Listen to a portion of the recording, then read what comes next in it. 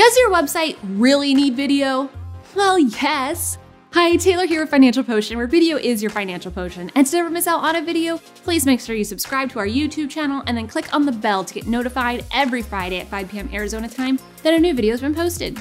For one-to-one training or just to support our content, please click above and connect with us on our Patreon page.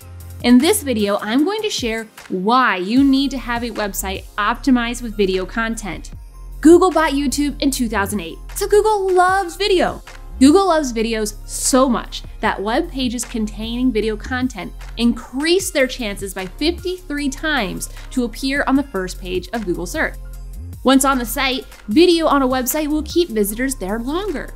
For landing pages, WordStream reports video can increase conversions by 18%. Remember that video many times can be a first impression someone has of you and your brand so videos you put on the website should be high quality.